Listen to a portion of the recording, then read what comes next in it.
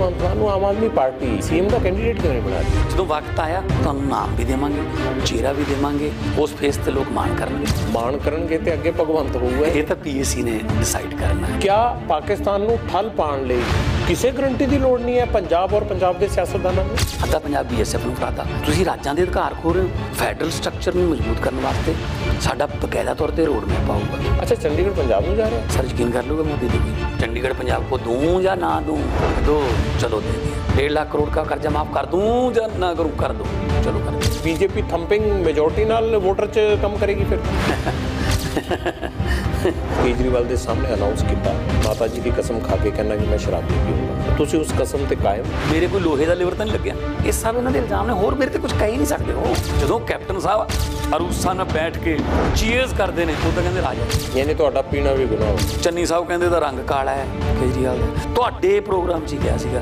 ਕਿ ਇਹਨੂੰ 5000 ਰੁਪਏ ਹੈਗਾ ਤੁਹਾਡੇ ਕੋਲ ਉਹਨੂੰ ਕੱਪੜੇ ਲੈ ਕੇ ਵਾਰ ਦਾ ਮੁੱਖ ਮੰਤਰੀ ਜਨਾਬ। ਤੁਸੀਂ 70 ਦਿੰਦੇ ਹੋ ਸਿਰਫ। ਤੁਸੀਂ ਪੋਸਟਰ ਛਪਵਾਏ ਇਹ ਬੰਦਾ ਚਿੱਟਾ ਵੇਚਦਾ ਹੈ। ਫਿਰ ਕੋਰਟਾਂ 'ਚ ਜਾ ਕੇ ਅਰਵਿੰਦ ਕੇਜਰੀਵਾਲ ਨੇ ਮਾਫੀ ਮੰਗੀ। ਜੇ ਸੱਤਾ 'ਚ ਆਏ ਹੁੰਦੇ ਫਿਰ ਮਜੀਠੀਆ ਨੂੰ ਖੁੱਲਾ ਘੁੰਮਣ ਦੇ ਦਿੰਦੇ ਫਿਰ ਅਸੀਂ ਗੁਨਾਹਗਾਰ ਸੱਤਾ 'ਚ ਦੁਬਾਰਾ ਆ ਗਏ ਤਾਂ ਚੱਲਣਗੇ ਫਿਰ ਗੁਨਾਹਗਾਰ ਹੋਵਾਂਗੇ ਜੇ ਫਿਰ ਮਾਫ ਕਰ ਦਈਏ।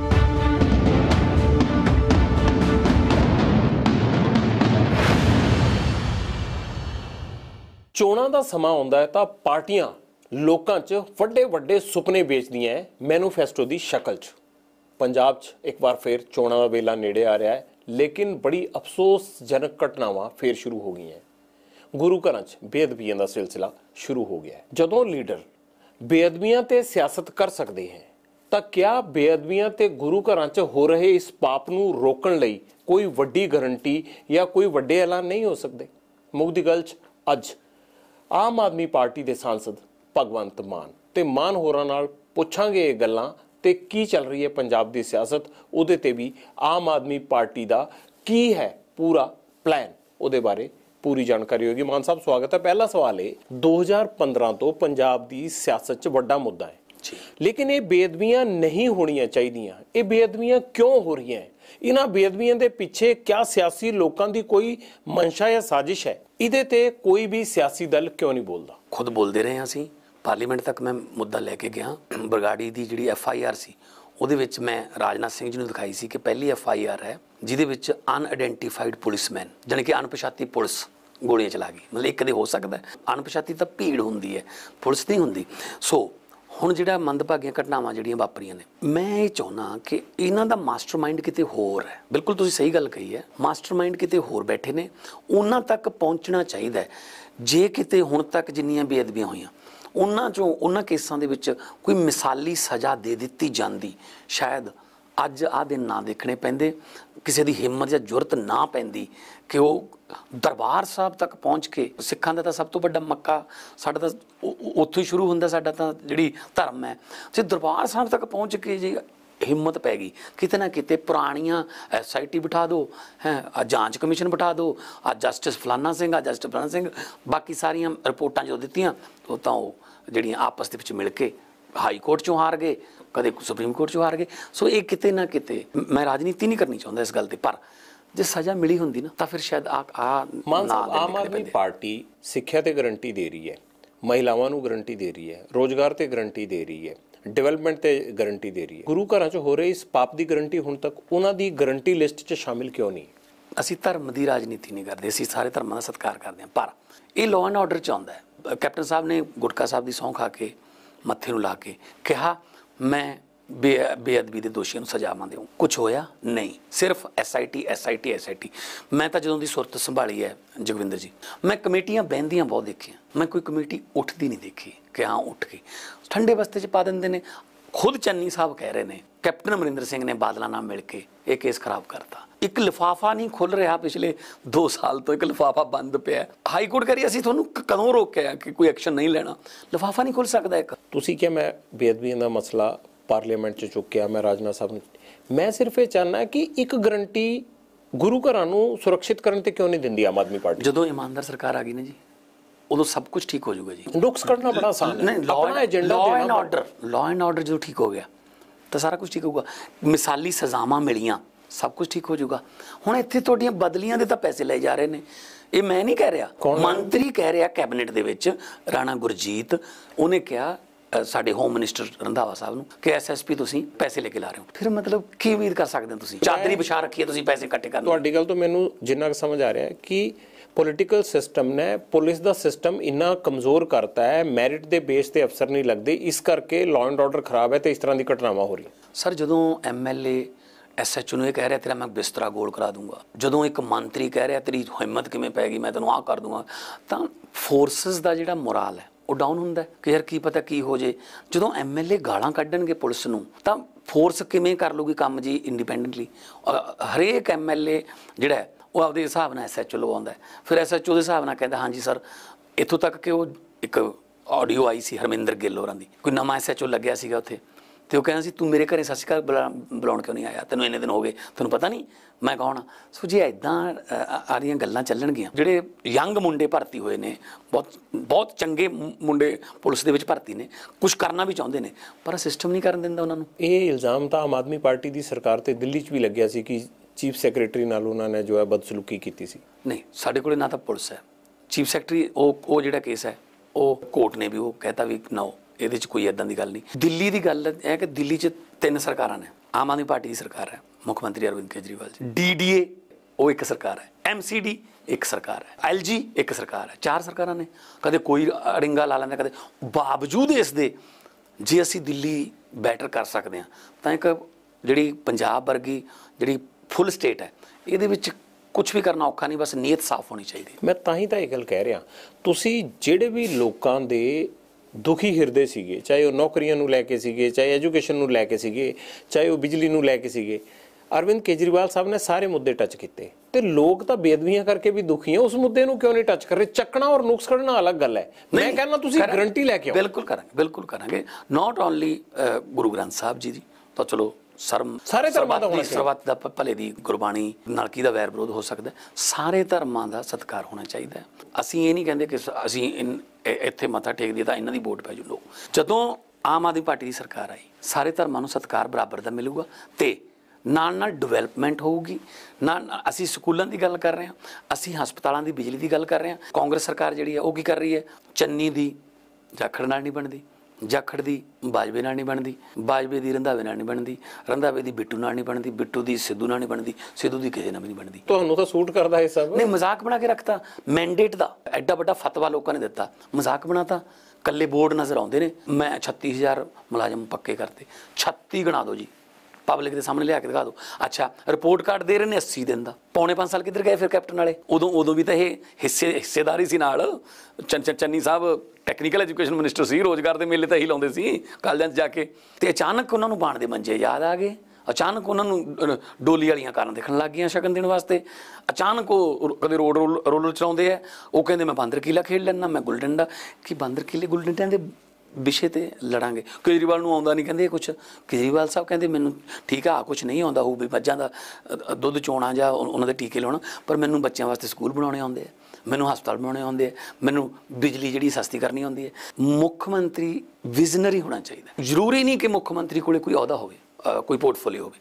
ਦਿੱਲੀ ਦੇ ਵਿੱਚ ਅਰਵਿੰਦ ਕੇਜਰੀਵਾਲ ਕੋਲੇ ਇੱਕ ਵੀ ਮਹਿਕਮਾ ਨਹੀਂ, ਪਰ ਉਹ ਸੁਪਰਵਿਜ਼ਨ ਕਰਦੇ ਆ। ਕੰਨ ਦੇ ਪਰਲੇ ਪਾਸੇ ਲਿਖਿਆ ਜਿਹੜਾ ਪੜ੍ਹ ਲੇ, ਉਹ ਮੁੱਖ ਮੰਤਰੀ ਹੁੰਦਾ ਇਹ ਥੋੜੀ ਹੈ ਕਿ ਚੰਗੇ ਚੰਗੇ ਮਹਿਕਮੇ ਆਪ ਰੱਖ ਲਓ, ਠੀਕ ਹੈ? ਉਸ ਤੋਂ ਬਾਅਦ ਕ- ਵਿਛਾ ਲਓ ਚਾਦਰ ਕੇ ਲਿਆਓ ਭਾਈ ਸਿੱਟੋ, ਇੱਥੇ ਕਿੰਨੇ ਬਣਦੇ ਨੇ। ਸੋ ਕਾਂਗਰਸ ਆਲਰੇਡੀ ਹਾਰ ਚੁੱਕੀ ਹੈ।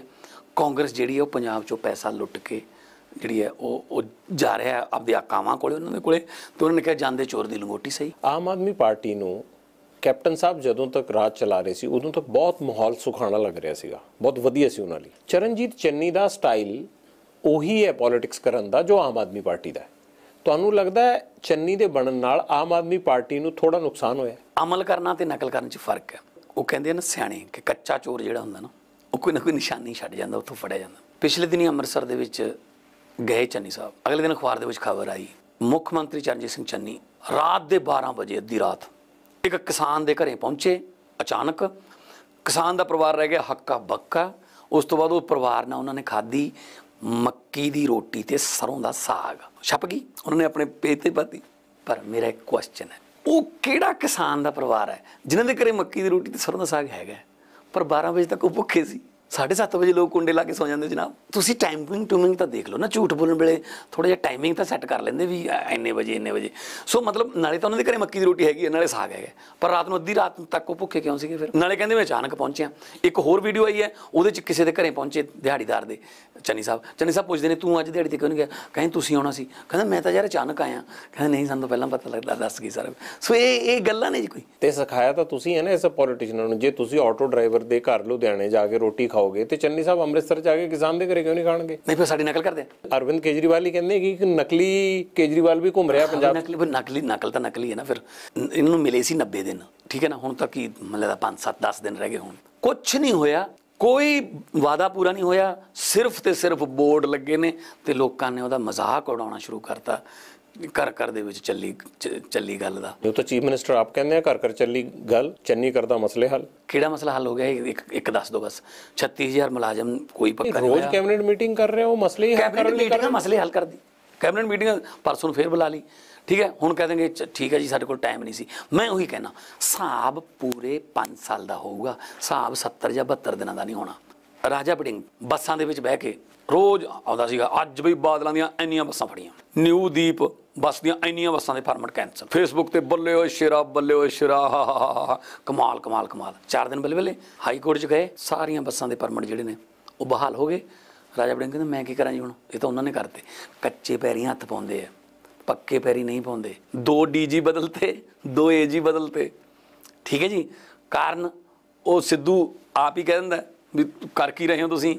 ਤੁਹਾਡੇ ਤੋਂ ਹੋਇਆ ਕੀ ਹੈ ਹੁਣ ਤੱਕ ਮੈਨੂੰ ਲੱਗਦਾ ਕਿ ਇਸ ਤੋਂ ਵੱਧ ਮਜ਼ਾਕ ਮੈਂਡੇਟ ਦਾ ਜਸ ਪੰਜਾਬ ਦੇ ਲੋਕਾਂ ਦਾ ਮਜ਼ਾਕ ਨਹੀਂ ਉਡਾ ਸਕਦਾ। ਬੁੜਿੰਗ ਨੇ ਤੁਹਾਨੂੰ ਵੀ ਤਾਂ ਚੈਲੰਜ ਕੀਤਾ ਤੁਹਾਡੀ ਪਾਰਟੀ ਨੂੰ ਕਿ ਤੁਹਾਡੇ ਦਿੱਲੀ 'ਚ ਕਿਵੇਂ ਬੱਸਾਂ ਚੱਲ ਰਹੀਆਂ ਉਹ ਕਹਿੰਦਾ ਆ ਕੇ ਮੇਰੇ ਨਾਲ ਕਰੋ ਬਹਿਸ। ਮੇਰੇ ਨਾਲ ਤੇ ਬਹਿਸ ਕਰਨੇ ਚਾਹੁੰਦੇ ਹੋ ਕਹਿੰਦਾ ਬੱਸਾਂ ਤੇ ਕਰੋ ਨਾ ਮੇਰੇ ਨਾਲ ਕਰਾ ਦਿਓ ਗੱਲ ਉਹਨਾਂ ਦੀ। ਉਹ ਰੋਜ਼ ਤਾਂ ਟਵਿੱਟਰ ਤੇ ਜਿੱਦਾਂ ਤੁਸੀਂ ਤੁਹਾਡੇ ਮਨੀਸ਼ ਸਿਸੋਦੀਆ ਪਾਉਂਦੇ ਉਦਾਂ ਹੀ ਤੁਹਾਨੂੰ ਉਹ ਪਾ ਰਹੇ। ਸੁਪਰੀਮ ਕੋਰਟ ਦਾ ਰੂਲ ਹੈ ਦਿੱਲੀ ਦੇ ਵਿੱਚ ਜਿਹੜੀਆਂ ਵੀ ਬਾਹਰਲੀ ਸਟੇਟਾਂ ਤੋਂ ਬੱਸਾਂ ਆਉਣਗੀਆਂ ਉਹ ਸਿਰਫ ਆਈਐਸਬੀਟੀ ਜਾਣਗੀਆਂ ਇੰਟਰ ਸਟੇਟ ਬੱਸ ਟਰਮੀਨਲ ਉਹ ਇਧਰ ਉਧਰ ਨਹੀਂ ਜਾਣਗੀਆਂ ਹਾਂ ਜਿਹੜੀਆਂ 에ਅਰਪੋਰਟ ਜਾਂਦੀਆਂ ਨੇ ਉਹਨਾਂ ਦਾ ਟੈਕਸ ਹੋਰ ਹੈ। ਇੰਡੋ ਕੈਨੇਡੀਅਨ ਜਿਹੜੀ ਹੈ ਉਹ ਟੈਕਸ ਦਿੰਦੇ ਹੈ ਜਾਂਦੇ ਨੇ। ਪੰਜਾਬ ਰੋਡਵੇਜ਼ ਦੀ ਟੈਕਸ ਜੋ ਹੈ 17 18 ਕਿਲੋਮੀਟਰ ਯੂਜ਼ ਹੁੰਦਾ ਦਿੱਲੀ ਦਾ ਏਰੀਆ ਆਮ ਆਦਮੀ ਪਾਰਟੀ ਜਵਾਬ ਦੇਵੇ ਨਾ ਉਹਨਾਂ ਨੂੰ। ਜਦੋਂ ਟਵਿੱਟਰ ਤੇ ਪਾਉਂਦੇ ਆ ਤੁਸੀਂ ਲਿਖੋ ਉਹਨਾਂ ਦੇ। ਆ ਦੇਖੋ ਨਾ ਤੁਹਾਡੇ ਸਾਹਮਣੇ ਐਡਾ ਵੱਡਾ ਮੰਚ ਹੈ ਏਬੀਪੀ ਸਾਂਝੇ ਦਾ। ਮੈਂ ਕਹਿ ਰਿਹਾ 17 18 ਕਿਲੋਮੀਟਰ ਯੂਜ਼ ਹੁੰਦਾ ਉਹਦਾ ਟੈਕਸ ਦੇ ਦਿਓ ਕੱਲ ਨੂੰ ਚੱਲ ਪੈਣਗੀਆਂ। ਅਸੀਂ ਕੋਈ ਇਹ ਕੋਈ ਜਾਣ ਕੇ ਥੋੜੀ ਕਰਦੇ ਕਿ ਕਿਸੇ ਦੀ ਮੋਨੋਪੋਲੀ ਰਵੇ ਅਸੀਂ ਤਾਂ ਚਾਹੁੰਦੇ ਆ ਕਿ 에어ਪੋਰਟ ਨੂੰ ਸਾਡੇ ਪੀਆਰਟੀਸੀ ਦੀਆਂ ਬੱਸਾਂ ਵੀ ਜਾਣ ਤਾਂ ਕਿ ਕੰਪੀਟੀਸ਼ਨ ਹੋਵੇ ਲੋਕਾਂ ਨੂੰ ਚੰਗਾ ਤੇ ਸਸਤਾ ਸਫ਼ਰ ਮਿਲੇ। ਇਹ ਕੱਲਾ ਗੱਲਾਂ ਕਰਨ ਨੂੰ ਆ ਜਾਂਦੇ ਨੇ ਐਂ ਕਰ ਦਿਆਂਗੇ ਉਹ ਕਰ ਪਰ ਆਮ ਦਿਆਂਗੇ। ਆਦਮੀ ਪਾਰਟੀ ਇਹ ਕਿਉਂ ਕਹਿੰਦੀ ਸੀ ਕਿ ਬਾਦਲਾਂ ਦੀਆਂ ਬੱਸਾਂ ਕੈਪਟਨ ਦੇ ਰਾਹ ਚ ਹੀ ਚੱਲ ਰਹੀਆਂ ਫਿਰ ਉਹ ਵੀ ਟੈਕਸ ਦਿੰਦੇ ਸੀਗੇ ਹਾਈ ਕੋਰਟ ਨੇ ਠੀਕ ਹੈ ਫਿਰ ਤੁਸੀਂ ਕਿਉਂ ਪੋਲਿਟਿਕਸ ਕਰਦੇ ਸੀ? ਦੇਖੋ ਜਿਹੜੀ ਜਿਹੜੀ ਇਹ ਇੰਡੋ ਕੈਨੇਡੀਅਨ ਆ ਬਸ ਇਹਨਾਂ ਦੀ ਜਿਹੜੀ ਕੈਟਾਗਰੀ ਹੈ ਨਾ ਉਹ ਚ ਇਹ ਹੈ ਲਿਖਿਆ ਹੋਇਆ ਕਿ ਇੱਕ ਜਗ੍ਹਾ ਤੋਂ ਇਹ ਬੱਸ ਭਰਨਗੇ ਉਸ ਤੋਂ ਬਾਅਦ ਰਾਸਤੇ 'ਚ ਰੁਕ ਨਹੀਂ ਸਕਦੇ। ਉਹੀ ਬੰਦੇ ਲੈ ਕੇ ਜਾਣੇ ਨੇ, ਉਹੀ ਲੈ ਕੇ ਆਉਣੇ ਨੇ। ਇਹ ਟੂਰਿਸਟ ਬੱਸਾਂ ਨੇ। ਪਰ ਪੰਜਾਬ ਦਾ ਸਭ ਤੋਂ ਵੱਧ ਏਰੀਆ ਜਿਹੜਾ kilometre wise Indo Canadian use ਕਰ ਰਹੀ ਹੈ। ਅੰਮ੍ਰਿਤਸਰ ਤੋਂ ਲੈ ਕੇ ਉਹਦੇ ਬਾਅਦ ਉਹ ਰੁਕ ਜਾਂਦੇ ਨੇ ਆਪਣਾ ਜੰਡਿਆਲੇ, ਫਿਰ ਬਿਆਸ, ਫਿਰ ਜਲੰਧਰ, ਫਿਰ ਫਗਵਾੜਾ ਫਿਰ ਰਾਜਪੁਰਾ ਤੱਕ ਐਂ ਰੁਕਦੇ ਜਾਂਦੇ ਨੇ। ਹੁਣ ਤੇ ਹਾਈ ਕੋਰਟ ਨੇ ਅਗਰ ਮੈਂਡੇਟ ਦਿੱਤਾ ਤੇ। ਹਾਈ ਕੋਰਟ ਦੇ ਫੈਸਲੇ ਤੋਂ ਬਾਅਦ ਤਾਂ ਕੋਈ ਚੈਲੰਜ ਵਾਲੀ ਗੱਲ ਹੀ ਨਹੀਂ ਰਹੀ। ਉਹਨਾਂ ਨੇ ਕਹਿਤਾ ਕਿ ਠੀਕ ਹੈ ਜਿਹੜੇ ਪਰਮਿਟ ਕੈਨਸਲ ਕਰ ਰਹੇ ਹੋ ਤੁਸੀਂ। ਨਹੀਂ ਜਗਵਿੰਦਰ ਜੀ ਬਹਾਲ ਕਰੋ। ਇਹ ਟੂਰਿਸਟ ਬੱਸਾਂ ਨੇ। ਉਹ ਦੂਜੀਆਂ ਨੇ ਸਵਾਰੀਆਂ ਵਾਲੀਆਂ ਉਹ ਤੇ ਟੈਕਸ ਅਲੱਗ ਹੈ। ਇੰਡੋ ਕੈਨੇਡੀਅਨ ਤੋਂ ਪੰਜਾਬ ਸਰਕਾਰ ਕਿਉਂ ਟੈਕਸ ਲੈਂਦੀ? ਜਦਕਿ ਸਭ ਤੋਂ ਵੱਧ ਕਿਲੋਮੀਟਰ ਉਹ ਯੂਜ਼ ਕਰਦੇ ਨੇ ਪੰਜਾਬ ਦਾ। ਸਾਡਾ 17 ਕਿਲੋਮੀਟਰ ਦਿੱਲੀ ਦਾ ਏਰੀਆ ਯੂਜ਼ ਹੁੰਦਾ ਇੱਕ ਪਾਰਟੀ ਦੂਜੀ ਪਾਰਟੀ ਦੇ ਖਿਲਾਫ ਪੋਲਿਟਿਕਸ ਕਰਦੀ ਹੈ ਮੁੱਦੇ ਨੂੰ ਪਨਾਉਂਦੀ ਹੈ ਹਾਈ ਕੋਰਟ ਆ ਕੇ ਉਹਨੂੰ ਰਿਵਰਸ ਕਰ ਦਿੰਦਾ ਲੋਕਾਂ ਨੂੰ ਕੀ ਮਿਲਿਆ? ਲੋਕਾਂ ਨੂੰ ਤਾਂ ਸਾਰੇ ਬੇਵਕੂਫੀ ਬਣਾ ਰਹੇ ਆ ਨਾ। ਮੈਂ ਉਹੀ ਤਾਂ ਕਹਿੰਦਾ ਨਾ ਪੱਕੇ ਪੈਰੀ ਕਿਉਂ ਨਹੀਂ ਕੀਤਾ ਕੰਮ? ਇਦੋਂ ਪਹਿਲਾਂ 4.5 ਸਾਲ ਜਿਹੜਾ ਏਜੀ ਸੀ ਚਿੱਟਾ ਹਾਥੀ ਬੰਨਿਆ ਸੀ। ਕਿੰਨੇ ਵਕੀਲ ਉਹਦੇ ਨਾਲ ਕਿੱਡੀਆਂ ਕਿੱਡੀਆਂ ਮਹਿੰਗੀਆਂ ਫੀਸਾਂ ਬੜੇ ਦਿੱਲੀ ਤੋਂ ਵਕੀਲ ਬੁਲਾ ਕੇ ਪੰਜਾਬ ਦਾ ਖਜ਼ਾਨਾ ਲੁੱਟ ਕੇ ਦਿੱਲੀ ਲੈ ਗਏ। ਕੋਈ ਕੇਸ ਜਿੱਤਿਆ ਅਤੁਲ ਨੰਦਾ ਨੇ? ਤੁਸੀਂ ਆਪੋਜੀਸ਼ਨ 'ਚ ਸੀਗੇ ਤੁਸੀਂ ਰੋਕਿਆ ਕਿਉਂ ਨਹੀਂ? ਤੁਸੀਂ ਬੈਰੀਅਰ ਲਾ ਕੇ ਖਜ਼ਾਨਾ ਫੜ ਲੈਣਾ ਸੀ। ਉਦੋਂ ਕਹਿੰਦੇ ਖਾਲੀ ਹੈ।